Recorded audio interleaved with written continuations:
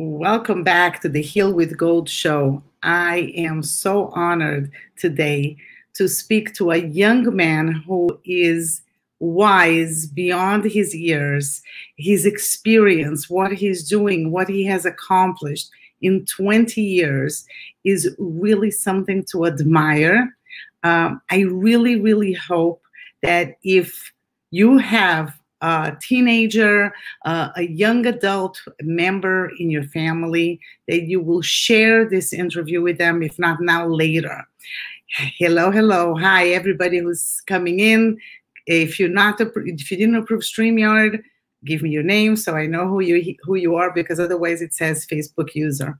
Anyway, please, please share with the young adults uh, in your life because this is an interview that it will be extremely meaningful to them uh, and really will help them see their lives from a different perspective in a way that can catapult the way that they live in a wholesome, loving, full, and complete way. Um, I just want to share before I bring Elijah on stage, I want to share with you something very interesting because uh, Elijah has a condition called Duchenne. It's a muscular dystrophy. A, it's a specific type of muscular dystrophy, and it's not something that everybody knows somebody with it. You know, it's it's not super common. Uh, but I had two experiences before uh, meeting Elijah. So my first experience was that I had a babysitter and uh, she was a live-in babysitter when my kids were younger. And she needed a place to have her kids uh, in between where you know when she, she was living with me during the weekend they were in her home with her care outside. Uh, but she needed a certain time to to she didn't have who would care for them. So i said to her no problem bring them to my house and we'll take care of all of the kids together. So her two kids came uh, her son was about eight years old, and I started noticing that he was tripping and falling. And I said to her, You need to take him to the doctor because I think that there is something wrong with his muscles. And indeed, he was diagnosed with Duchenne. Um, years later, I moved to Boca Raton, and one of my friends um, have a beautiful family. We lived in the same condominium in the same area. And the same thing happened. The son, after a certain amount of time, we started noticing that he would fall, he, he would have difficulties walking. And um, as time progressed, he was diagnosed with Duchenne. Um, today, he's also a young man, very similar age to Elijah.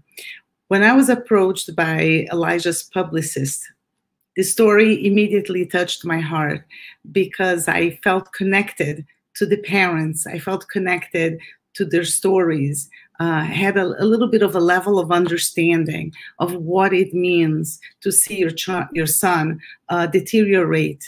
Um, but Elijah's story really caught my heart because what this amazing young person did with his story was exactly what I write in my book about what a thriver does with his situation, her, his situation. And um, Elijah wrote this book. We're going to talk about the book. We're going to talk about his story. We're going to talk together now about what he's doing. And I ask you, please go to my page, do a do a watch party. Make sure the people in your community are listening to the story. This is beyond Duchenne. This is about what do we do? It's the choice that we take of how we react to the adversities that come into our lives. Without further ado, welcome, Elijah. Thank you so much for having me today. My my pleasure. And I think you could hear what I was saying that uh, Duchenne is something that I have been a witness to it for many years. Um, so first of all, how common or uncommon is Duchenne? Tell us about it. Yeah, so Duchenne muscular dystrophy, it's a muscle wasting disease that eats away a person's muscles as time progresses. So when I was six years old, that's when I was diagnosed with the disease, and we noticed that I was walking on my tippy toes, which is what is uh, one of the major signs that somebody has this disease. You know, frequent falling, uh, kind of like what you what you witnessed. Mm-hmm. Um, and then when I was 11 years old, I went into a power wheelchair uh, patients with this disease will lose their ability to walk. And then it would also attack your arms. Uh, so later in my teenage years, I started experiencing muscle weakness in my arms. And the worst part about the disease is it's fatal. The reason why it's fatal is because your heart and diaphragm are muscles as well, and those will be attacked. Most patients pass away when they're 25 years old. But I believe that we're going to do something about that. I think that we're entering the, the golden age of medicine right now. So I'm very uh, excited about that. But um, I want to touch on something that you, you brought up, which I thought was really interesting. You said that this is bigger than Duchenne. Um, this is about overcoming adversity, and that's exactly right. You know, I think that um, my story and me having this disease is really just uh, a tool that I can use to show people to overcome adversity, whether that's having a disease or whether that's you know emotional problems or financial problems or some type of hardship in their life. You know, I want to be a symbol. I want to be a, a light that can show them that they can overcome that darkness, that they can overcome that challenge and adversity. So I thought that was really cool that you brought that up first of all, thank you for saying that. And you are a light, and you are already. That's what's so incredible about your story is that you want that, and every day you make make it count. And you are doing exactly that. You're going on podcasts, you're writing a book, you're sharing your story, and this is the only way that we can influence other people into taking action. Because when they see people hurting, that they're using their pain to bring light right? They're using their wisdom and experience that they gain from their experience to do better for others. That's when they can really see that it's possible for them because they're seeing somebody who is in the midst of adversity, who's trying to lift other people up. I mean, this brings so much hope. It brings to me, I think that doing this kind of work uh, I mentioned briefly to you before I went we went live that I wrote a book and I had researched and I had interviewed women thrivers for about uh, three years, and they all share their stories in in with the purpose to help other people, and their way of achieving this joy within adversity is all in your book. It's all in my book, and and I was telling you, you know, we're handing over people the the Bible, the, the steps to take in order to achieve it. But the hard part is to putting all of these things in place. I, before we talk about your book and before we talk about all of these lessons that you share, I would like you to talk about your family. Um, you lost a brother for Dush- from uh, to Duchenne, and you have a, a younger sibling with Duchenne. I wanted to hear if you can share the story from the beginning, um, how it happened with your older brother, and you know, and how how it happened for your parents. Because I want to also share a little bit the perspective of your parents. You know how they've been dealing with all of this. Sure. So my my oldest brother Will, he's uh 25, um, and he you know he's completely healthy and everything like that. Um, and then you have me. I'm 20 years old and I have the disease Duchenne muscular dystrophy. And then my younger brother, Max, uh, he had it as well, but he also had other health complications. When he was born, he had open heart surgery. It didn't go too well. And it left him being confined to a bed his whole life, um, mm-hmm. blind, not able to um, to speak, not able. He was cognitively delayed. Needed a nurse full time. So he had a lot of problems in addition to having Duchenne. Um, and he unfortunately passed away when he was 14 years old uh, to Duchenne muscular dystrophy. And then my youngest brother, Kai, he's 14 right now, um, and he's in a power wheelchair, and he has Duchenne muscular dystrophy too. So that would be my family um, overview. Uh, but the way it really started is when I was like five years old, they noticed that I was walking on my tippy toes. I was falling to the floor. I, you know, couldn't really get upstairs too easily. But the one thing that really stood out is my mom wanted to measure my height. So she, you know, she puts me up against a wall and she says, Hey, you know, stand there and let me measure your height. Now put your heels down. I couldn't put my heels down. I'm standing on my tippy toes. And she thought I was messing around. She's like, Oh, I just stopped messing around or whatever. And I and I wasn't messing around. And so what happened is uh, she realized, okay, well, we need to we need to do something. You know, the reason she's measuring my height is so I can get out of a booster seat in the car, right? Just sit there normally. And um, I couldn't put my heels down. So that's got, kind of started the whole process. Started going to doctors and to specialists, did blood work. Then after that, we also did a muscle biopsy just to confirm it. And and it came back, you know, it's Duchenne muscular dystrophy. And so that's the disease that I have. So, but she did she already know the symptoms from your from your brother who had passed, or he? What? I'm the first one. What was the yeah. order? I'm trying to figure out the order. Was this a, a surprise at that point yeah. when? So I'm the first one with like Duchenne muscular dystrophy mm-hmm. in the sense of like I'm the one who made my family, my parents aware of it. Okay. My brother Max, we learned that he had it um, years later after my diagnosis. Okay. Um, I'm I'm number one in the order, and then it would actually be like my little brother Kai and Max at the same time because we realized Kai was walking on his toes and stuff like that that seemed really similar to to my upbringing. And so then they thought, well, because Max never could walk, right? Because he was the day he was born, they had that surgery, so he was, you know, already confined to a bed basically at that point. So we never really saw those symptoms. So we learned that Max had Duchenne way later, but it helped explain a lot of the a lot of his condition and why he didn't do too well with surgeries and stuff like that. Um, but we learned that later, you know, after after Kai got diagnosed, and Kai's the youngest in the family. Interesting. I, I I wanted to hear a little bit from you, from your parents' perspective, because they must be incredibly strong people to be able to, first of all, I always believe that people are what they see. I mean, right? Some people really go completely out, right? They they they're in a very bad place and they want to fight it. So they completely take away from where they were and they bec- and they make themselves a new person. They are they become something completely different. But most times people they see their parents and they learn good traits, bad traits, and then they emulate those traits.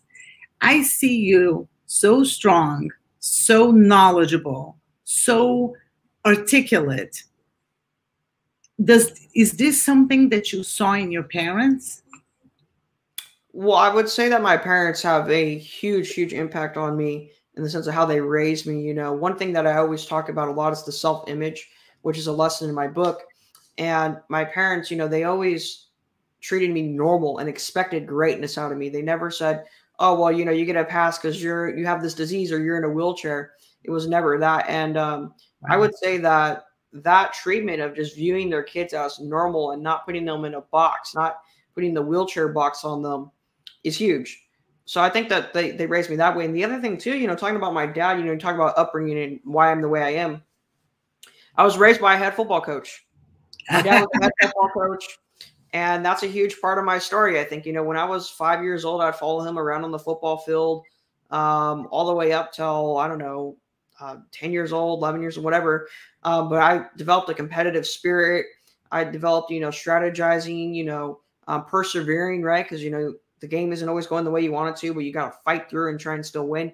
You know, a lot of that comes from my my dad, and same thing with my mom as well. Though, you know, my mom, the way she's raised me, the things that she's taught me, the way she that positive um, words that she puts in me, you know, that that stuff is is very valuable that I do not take for granted. You know, but when I when I reflect deeply on this, right, we don't get to choose our parents, and so I'm very fortunate to end up with the parents that I did and um, I think that's you know I'm just really grateful for that. And I think that's a great thing to to celebrate as your as your parents and to honor them. I, I you know it's so beautiful to hear you say that because many times we don't realize that we are learning we are seeing you know when you talk about your father being a coach and you talk a lot in the book about the competitive spirit that you have and how you use that to become the person that you are and i think that it's so beautiful that you're seeing the connection of learning that from your parents. I mean, I think that they must be extremely proud of you. You know, as difficult as it all is, I think that you are accomplished. You have already accomplished more than people accomplish in a longer in a long life you know so many people don't get to do what you're doing impacting so many people writing a book. You told me about maybe movies and tv and whatever it is that you're working on. This is absolutely incredible. I mean you have a nonprofit. Tell me about how you started this nonprofit. Tell us the kind of work that you're doing through it. I mean you started when you were 15 right? Yeah yeah. So the nonprofit is mm-hmm. called destroy Duchenne and Destroy Duchenne's mission is to complete the cure for Duchenne muscular dystrophy by advancing gene editing and gene therapy into human practice. So the story of Destroy Duchenne Uh, it all started when I was 15 years old. I was getting super interested in business and marketing and entrepreneurship. And I knew I wanted to do something great for the world, right? I kind of always knew that since I was like eight, that, you know, I want to do something great for the world. Um, I was fascinated with architecture and maybe being an architect or just doing something that was, you know, great, right? I'm, a, I'm obsessed with greatness. Uh, but I didn't know what I wanted to do yet. But I knew when I was 15, I thought, well, why do I have to wait till I'm 25, 30 to do something great for the world? Why can't I be great now? I mean, why, you know, age is not a requirement to be great. So I thought, why? Let, let me just just stop for a second.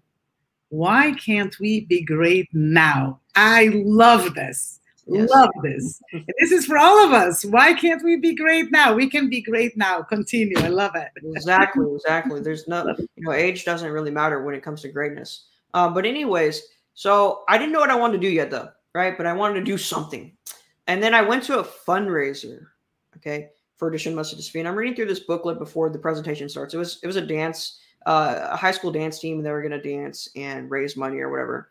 But anyways, I'm looking through this booklet. At the end of the booklet, it talks about Duchenne. It says that's a muscle wasting disease. You know, that's not news to me. It says that patients end up in the in a wheelchair, and I thought, okay, I'm in a wheelchair reading this booklet, not news. It said that patients will lose their um, mobility in their arms, and I thought, well, that that right there is news to me, and I didn't like that because I'm someone that always threw the football around with my dad or my friends. I played catch with them. I shot baskets, uh, you know, basketball in my in my wheelchair. Dribbled the ball in my wheelchair. I mean, I love being active. Right? I'm a very, I was a very active disabled person, if you will. Um, so that kind of shook me up. But then it got worse. Then it mentioned that most patients pass away when they're 25. And I just remember hyperventilating and being shocked right? Because well, I'm 15 reading this, 25. I mean, that's not that's not too far. That wasn't too far from from my age, and so I thought, well, that's news to me. I didn't know this disease kills people, and uh, to read that at such a young age, 15, you know, I mean, that's crazy. And I and I'm looking at it, and I thought, well, maybe they're wrong. But then it made me logically accept the reality because it said that it's a muscle wasting disease that attacks the heart and diaphragm, and I thought, well, those are muscles if it's a muscle wasting disease, yeah, they would have to be a, they would have to be attacked too. So I thought, well, that's I guess that's it.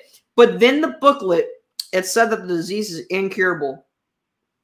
And whenever I hear somebody tell me that something's not possible or you can't do this or whatever, that I, I love that. That's you know you're, you're going to say I can't do something. Well, let's see about it because I believe that I can. I believe I can do something about it. So I took that as a challenge. I thought, okay, let's see, let's see, let me get in the game. Let me see what I can do about it because I think that I can cure this. I think that I can change this. I had such a strong self belief already. Anyways, I went home that day and I wanted to get my mind off of what I just read. So I, I put on my favorite superhero, uh, Iron Man. I love Iron Man. And I'm watching Tony Stark, and you know, he uses his knowledge to solve his problems and stuff. And I'm watching him and I'm thinking, you know, why couldn't I do the same thing? Why can't I use my business knowledge and that passion for entrepreneurship and do something about this disease? And it's all coming together now.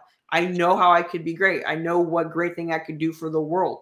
And I thought, okay, I'm going to do something about this. So should I start a for profit or a nonprofit? Well, I'm 15. You know, I don't have a lot of resources. I don't have a lot of money. You know, I don't know a lot of people. A nonprofit probably makes the most sense for now. So I started a GoFundMe. I wanted to raise $600 to pay for the legal fees, uh, you know, starting a nonprofit. Now, to touch on the legal part, right? That's the whole story itself. In ninth grade, which is when I'm starting this, right?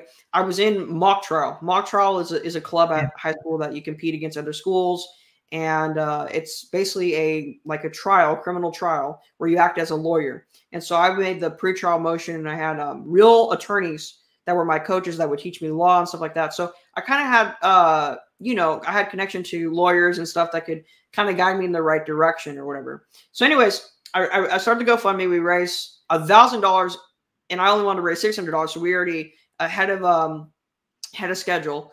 And then I started recruiting board members. So you know, I'm a 15 year old calling these prominent people in my my community. Hey, do you want to you know be a part of something I'm starting? And it felt kind of weird and funny, but but I did it. And uh, they agreed to join the board of directors. So I got my board ready.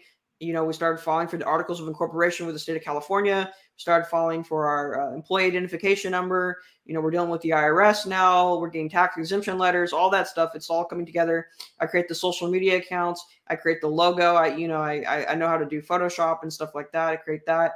I start coming up with a marketing plan. You know, I, I just love marketing and I've read so many books on it, watched so many great marketers with their presentations, their uh, lectures, all that. So I have some of this knowledge and, I, and I'm putting things together and I just start producing content and start just going at it.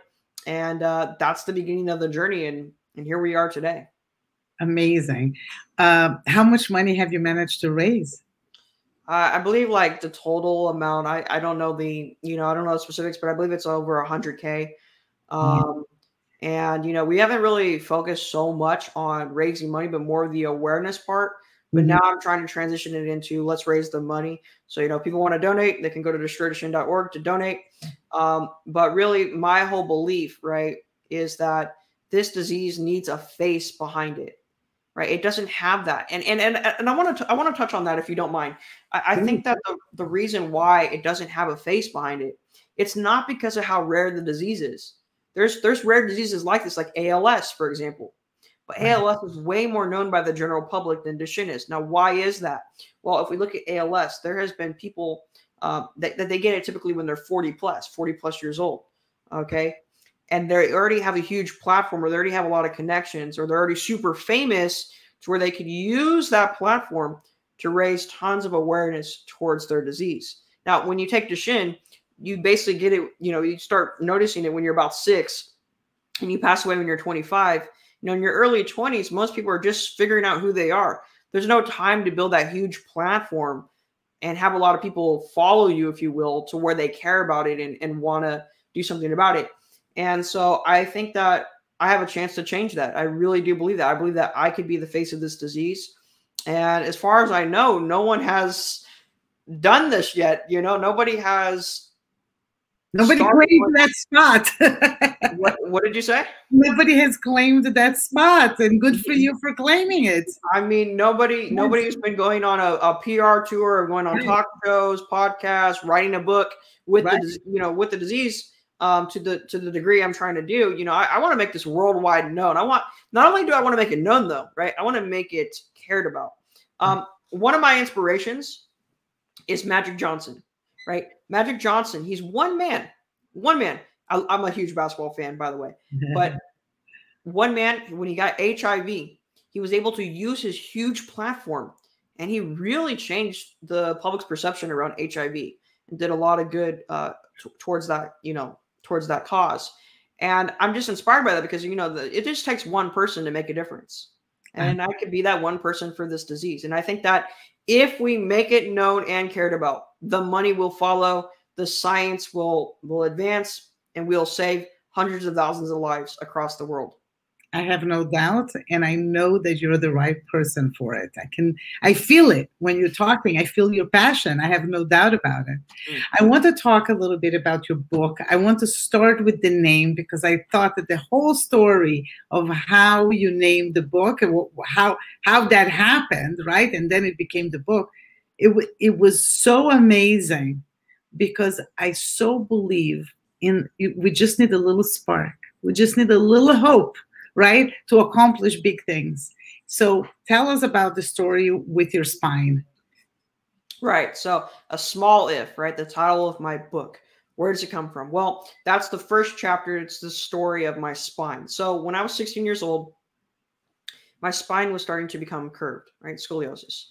And that's common with uh, people with my disease, Duchenne muscular dystrophy what I so I went to the doctors, we do the x-ray, I get off the x-ray table, you know, we're looking at the x-ray and the doctor says, you know, your spine is curved so much to the point to where I'm going to have to really push for you to have spinal surgery.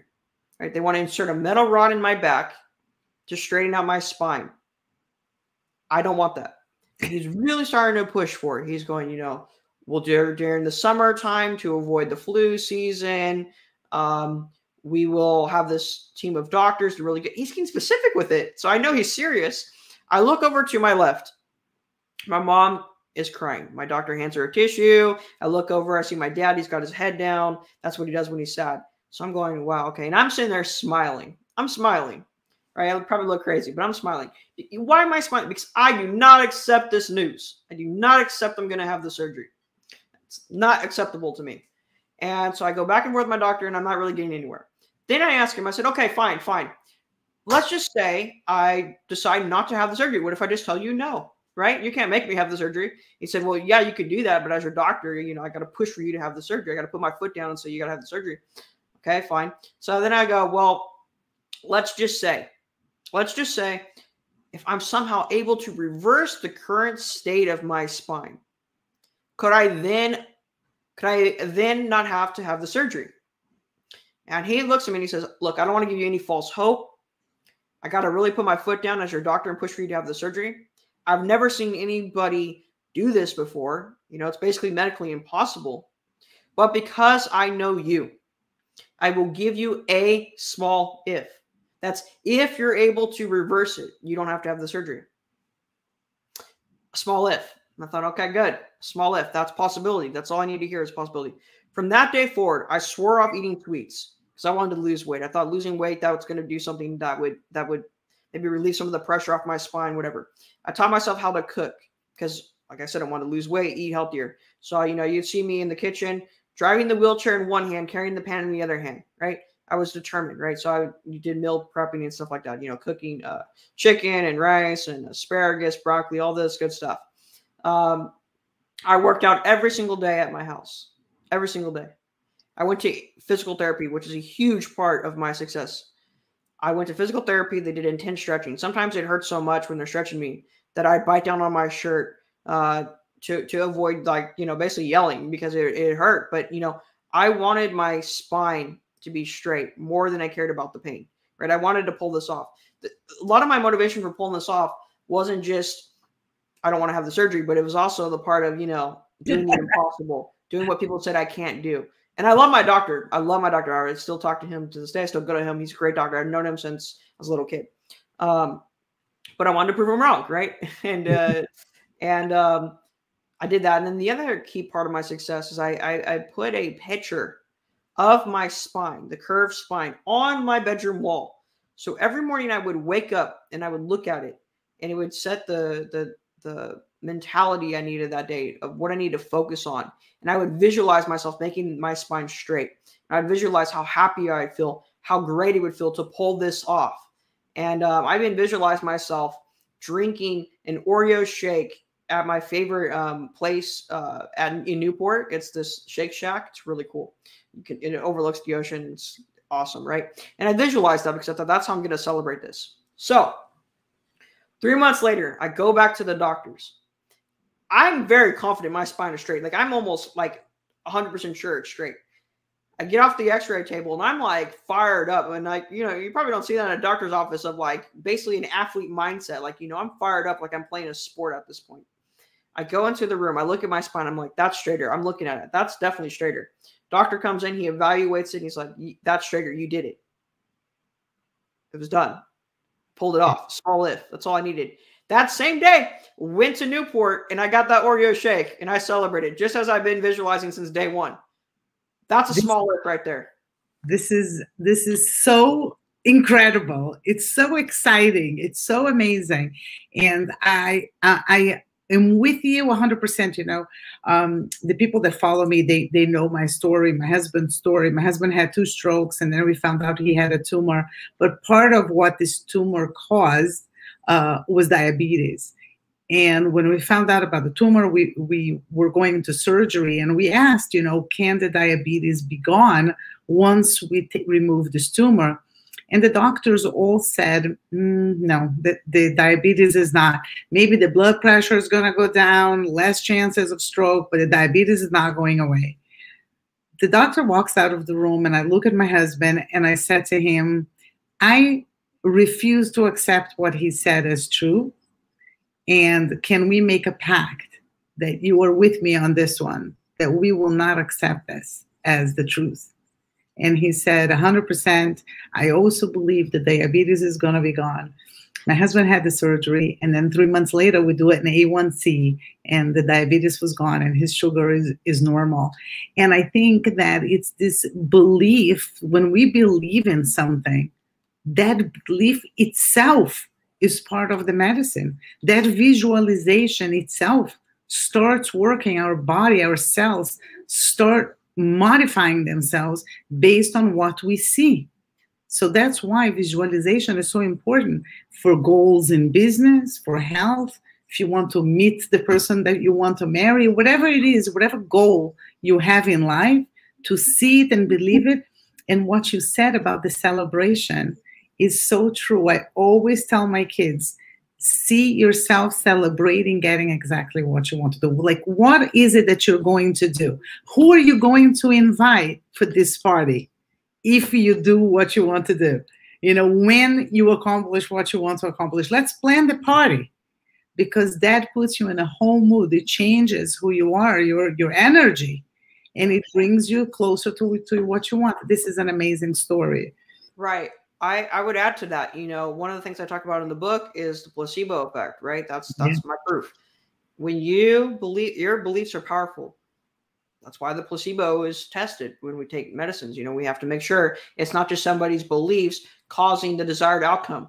That's crazy to me. That right there is proof that your beliefs matter. I mean, literally, we have tests where, you know, someone will have knee pain and they'll just put basically water on it, but they'll say, oh, this is the medicine and then they put it on it and they go and the, and the patient actually believes oh yeah this medicine is going to make me feel better. And it's just water and then their knee they have no pain anymore. Exactly. That is the power of your beliefs. Exactly. No it's, it's so powerful.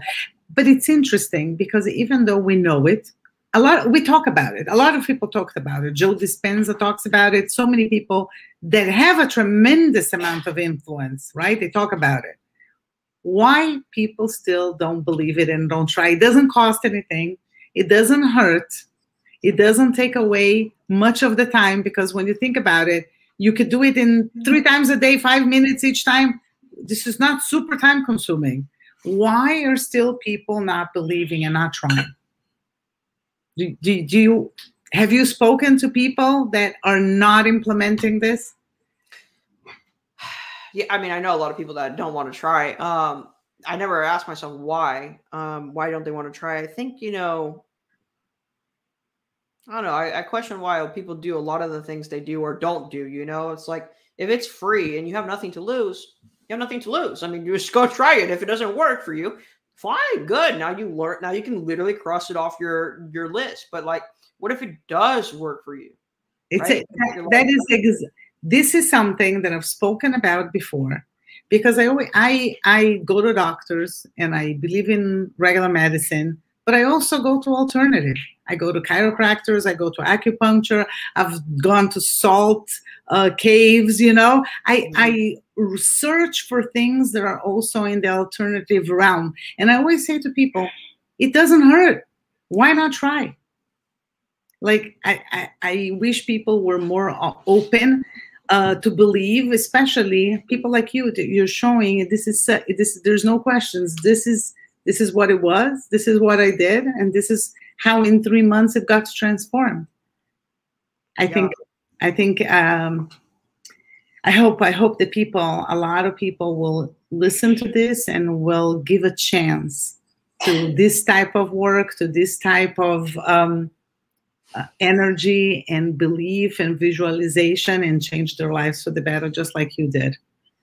So tell me a little bit about everything that you are doing. You shared with me that you are writing. That tell me tell me what are your plans? Like where do you go from here with your story?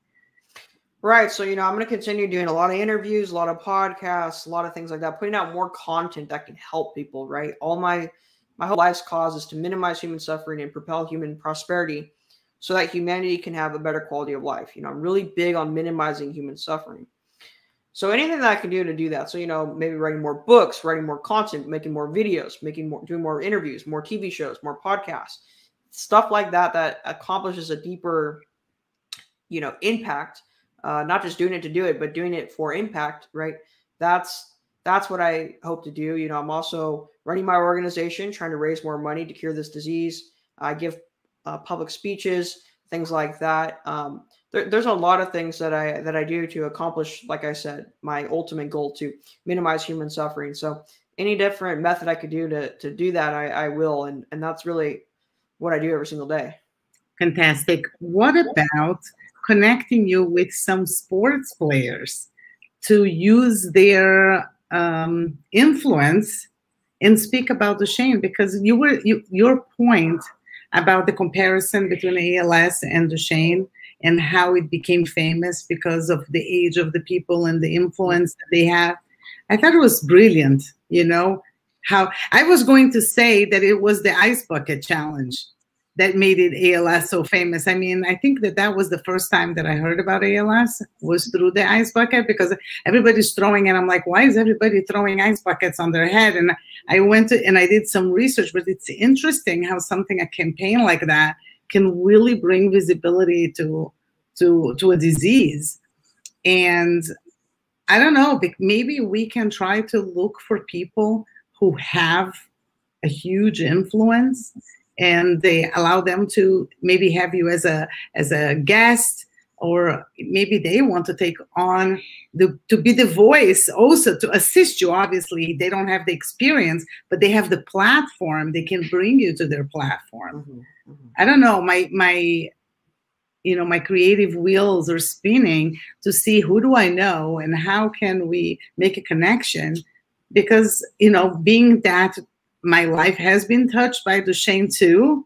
Um, it's personal, right? We we know somebody, and we, and I now I know you on top of the other people that I that I know. Um, I have to to put some thought into that and see. I think that we need to support each other in finding the ways to spread messages that are so important yeah, I mean, if you know anybody in particular that you think that would be a good connection, you know, send them my way. I would love to work with whoever wants to help this important and urgent cause. Yeah, I, I have an idea of somebody, so I am going to reach out. Um, I'm going to reach out soon and I'm going to share this video with them and maybe they can make some kind of an introduction. I, I will definitely do my best because I'm inspired by you. I, I'm inspired by your tenacity, by your grit, uh, but more than anything, by by your zest of life. You know, um, my father passed away two years ago, but he always used to say that I, between the girls, we, I'm one of three girls. My father always used to say that I was the one with joie de vivre. In French, is you know, with joy of life. Uh, today is, is interesting because you're talking about business, and I was you know, looking at what I'm doing in my life with my business, it has changed and evolved so much. I started with marketing. I did marketing for 25 years, and then I, I changed a little bit. But when I was looking at my title, now I do I do fashion design, and I'm thinking mm, I'm not a fashion designer. And I said, you know what I am? I'm a joy alchemist. That's what I am, you know, and that's what I want to do. I want to bring joy in, in, into the world and I want to be that girl with the joie de vivre. And when I see you and I talk to you, I feel that. And it's almost like, oh, now I know what my father was talking about, that he could see that joy in me. I see it in you. Um, and it's inspiring and it's uh, and it's coming from somebody who has gone through so many hard things in life it's even more inspiring and i, I really hope that people talk about this is what i want to talk about the comparison. You you wrote here in your book and and by the way is the book available on amazon? Yes yes it is. What what, what other places can people buy your book? Uh, anywhere online target barnes and nobles um, you name it it's it's there okay guys this is a book that you have to i love the way the book was split uh, between the story and then there is um, a, a, a method that um, that Elijah applies in his life to help him. And uh, for example, here, consistency is key. So he's talking about consistency. Uh, uh, what, but what was the one that I wanted you to talk about? Oh, the comparison. I love that. I think it was when you talked about gratitude, living with mm. gratitude. Is that chapter 10? Chapter 10. Yeah, yes. And I love that because it's so true. We realize and we become grateful when we realize when we don't have something that we had before. When we have it, we take for granted. So talk about that example about the phone. You do you remember what I'm talking about? Yeah, yeah. So lesson 10, uh, there's these different lessons at the end of each chapter. So lesson 10 of, of the lesson gratitude. It teaches this powerful psychological method of contrasting, right? When we contrast two different things, we can see the difference between it. So, like for example, if you have a straight line, um, you know, you could then see a crooked line more crooked than if it there was nothing to compare it to. And so the the, the cell phone one that you're talking about is I, I said like take your cell phone for example. You may not you may take it for granted, but go a whole day without it. Like go put it in a drawer somewhere, you know, and don't use it at all. You're not allowed to use your phone. I guarantee you, you'll be more grateful than you are today for your cell phone for something like that. You know, for me, for example, someone might say, "Well, you have a terrible situation. You're in a wheelchair, whatever." I'm grateful that I have a wheelchair. Let's start there because some people do not have a wheelchair or their wheelchair broke or this or that. At least I have a functioning wheelchair today. That is something that I can be grateful for. Now, the, the key to this lesson, though, is a lot of people say, oh, be grateful, whatever, right? And, and, and it's good advice, but they don't really mean it. It's like, yeah, I'm grateful for my parents. Yeah, I'm grateful for this. That's not powerful enough. That's not powerful enough. You don't really mean it. To really mean it, contrast. Now, this this is not morbid, but imagine and, and really close your eyes and visualize and and feel all the different senses. What would it be like to to not have somebody in your life that you care about, right? And then when you realize that, then you'll be way more grateful for them. And then maybe after you go through this exercise, maybe you call them and tell them, I love you. I care about you. I just wanted you to know that today. I hope you have a good day. Maybe it's a text message, whatever. That right there is the power of gratitude when you really, really are truly appreciative of someone or something. And you can do that by the power of contrasting between um, having and not having. I have to tell you that I do that all the time. And it's so true that it's so powerful. And when you said about the imagine not having that person, now you're so happy you have them call them, right? I, I do that, but what I realize is that I shouldn't be annoyed by certain things that I get annoyed that people do. When you think, what if I didn't have this person? And then you say, okay, so I have this person. So this thing that annoys me that they did, I'm I shouldn't be so angry about because I'm so grateful that I have this person. So isn't it true? So many people now with COVID, they lost so many lo loved ones. They would do everything to have that person back.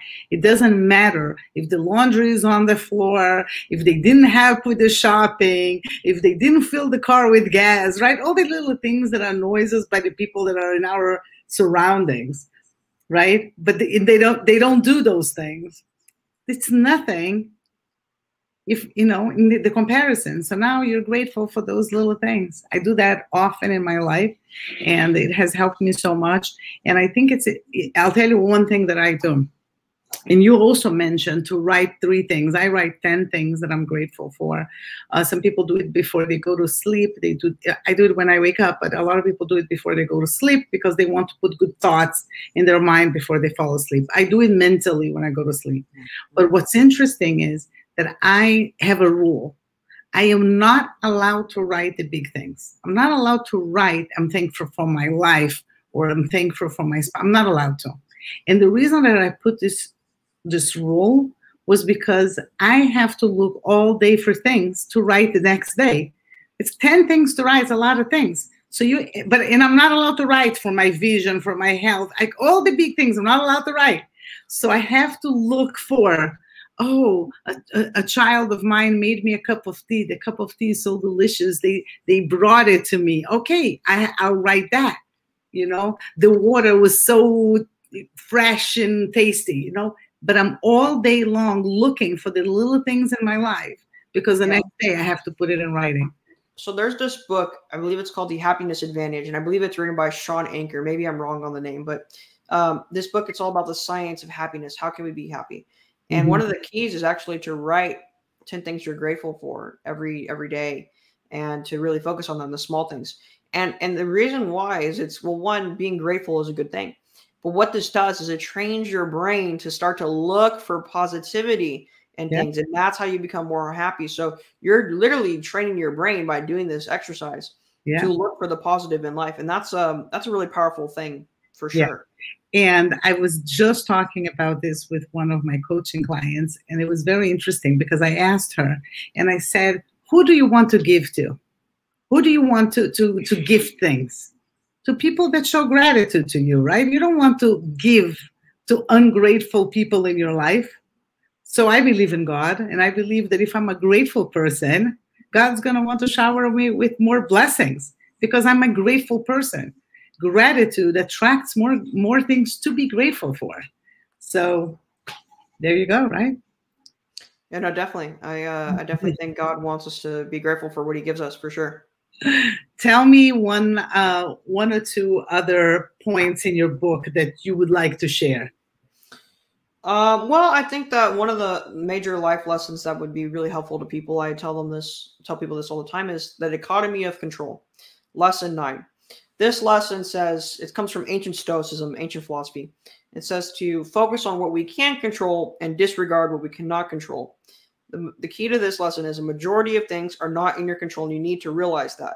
Now, you th- there's a difference between controlling something and being able to influence it. For example, there may be a person that I want to be friends with. Okay. I can't control if they want to be friends with me ever. Control, let's let's define it though. Control is desiring or controlling the or determining the outcome, right? I can make them be my friend. I cannot make them be my friend. Now I can influence them to be my friend. I can be nice to them, listen to them, take an interest in them. But that's just influence. So ultimately, it's not in my control, so I just disregard it. So if they don't want to be my friend, okay, it's whatever. You just move on because I know that's not in my control and I have to let that go. It's, uh, it's such an important concept because the things that we cannot control are usually the things that take control over our mind we become obsessed with those things, right? It starts by us wanting to control and then worrying what happens if we don't manage to control.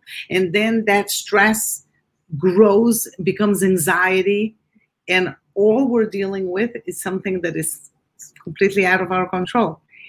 I have done so much work in this area of control. I always say that I've never in my life gotten drunk, and it's not because I'm not foolish it's because I am so scared of losing control. you know, I have this, and I started doing things specifically for me to see to let go, to let go a little bit of this control. So uh, last year, I allowed myself to be hypnotized. Um, I went to a breath workshop. All of the things that I didn't want to do because I wouldn't, I didn't know how I would control myself. It starts with us letting go of that control of ourselves and things. So I, um, it's a, I'm a work in progress. I, this is a hard one, right? Not to want to control things, not to be worried about the things that we cannot control. That's a big one. Tell me an example of how you do it in your life, in your personal life, when you started losing, when you needed a wheelchair. Like, at what point did you accept your situation and not become too focused on controlling the situation? Honestly, uh, I don't really like for me, it's really weird. Like, I've never really been one that's like, oh, I, I just hate being in a wheelchair or whatever. Like, I mean, being in a wheelchair has its challenges and stuff, but I never was the one that was like, I can't accept this, can't accept this, and then eventually accepted it. I kind of accepted it since since it happened, since I went into a wheelchair. But I, I think some of the lessons, like to apply this lesson to my life, like some of the ways I use it is really with people's judgment. And that would kind of relate back to going in the wheelchair is I had to learn like people are going to look at me, you know, this thing's, this wheelchair is an attention magnet, you know, it's going to draw attention to me. Um, I can't control that. But what I did realize is I can control what I do with that attention. So I could be a good person. I could be a, a role model for people. I could direct people towards positivity. I could use this mini magnet platform, whatever you want to call it, to direct people to whatever I want them to have their attention on. Um, and so that's kind of how I, I took the situation. But when it comes to people's judgments, you know, everyone's scared of people. What are they going to say? Whatever. I honestly don't even care at this point what people say. Um, if it's going to be negative or, or even positive for that matter. Like, you know, I, I want to just focus on what I can control because I can't control if someone says, I hate you or I love you. It's both out of my control. I could just focus on my attitude towards whatever they say. Amazing. Let's see, we are getting some comments here. Love the concept of looking for the 10 things throughout the day to be grateful for. It's amazing. It's so helpful. I also do it when I get a little bit anxious before bed. Lately, I am getting because I am going through a lot of stress.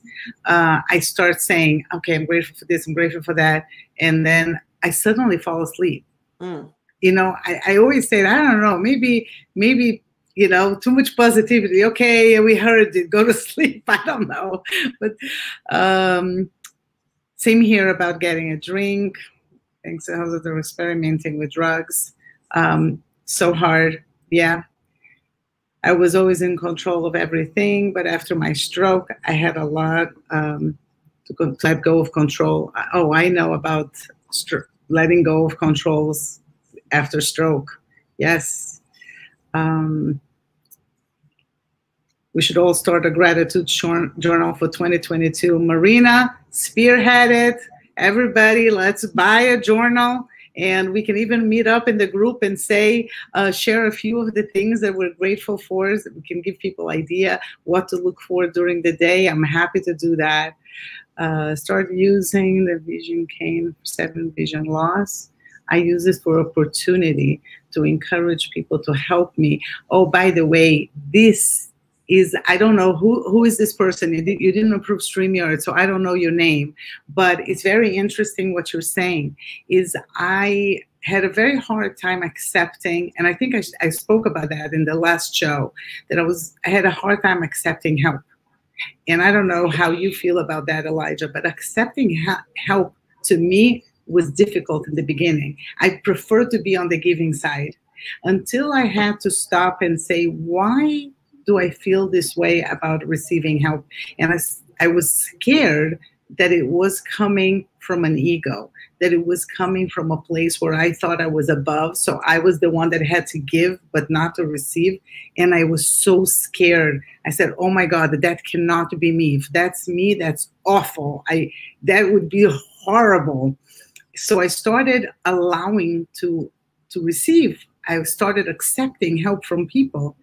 And what I noticed was that when you allow to receive, you're also giving exactly as Ophira, I see that, that, that it's you, that when you allow for somebody else to help you, you are giving them an opportunity to do a good deed.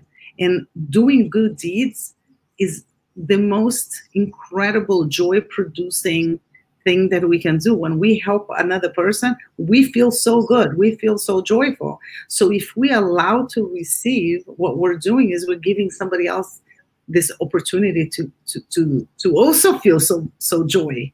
So it was a, a real opportunity for me to understand that being on the receiving end is as amazing as being on the giving end and uh, you know i think that you know that elijah. I mean you you depend on people to do certain things and you're giving them an opportunity to help you. And you're helping other people. You're helping the world. You're helping all the other patients with duchenne all the other people who suffer from this disease but not only them for their families. You're helping the when other parents see what you're doing you're giving them hope. Yeah no that's actually part of my lesson in the adapter's mindset, that lesson there, I talk about, you know, how you have to develop an adapter's mindset and that just allows you to be more creative. So it's like, I'm going to adapt to the situation no matter what.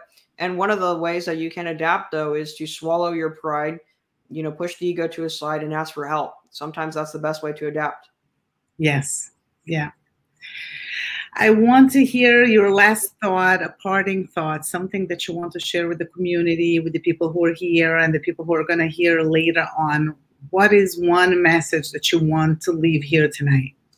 I think something that I would tell people, this is really personal, so I'll just say this, but I think that, you know, considering that I have a fatal disease and thinking about death and how serious life is, I would say that, um, you know, I'm someone that's really philosophical someone that's really spiritual, I'd say, you know, think about God and think about what life's really about. Like what it what what are you going to say to God when you when you die? You know, did you use your life? Did you use your time wisely, correctly? Um, what's your relationship like with God? Um, you know, I, I believe in God really strongly, and I believe that, um, you know, when it's all said and done, nothing really matters but our relationship with God and what we did for God. And so, you know, I try to use my days um, to the best of my ability for how God created me, whether that's sharing positivity, telling people about God, um, trying to encourage people, whatever it is. So I would just think about that because I think that even if you don't have a fatal disease or anything like that, you still want to spend your time as best as you can today and, and for the days that you have left on this earth. That couldn't be a better message. Uh, it's a message that applies to everybody. I live my life this way too.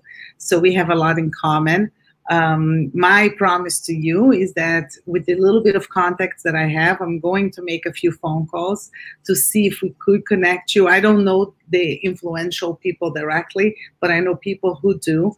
So I'm going to do my part to see how we can spread your message. You are a powerhouse. I have no doubt that you're going to accomplish a tremendous amount. You are already, you have already changed the world for the better, and you, and I know you will just continue doing so.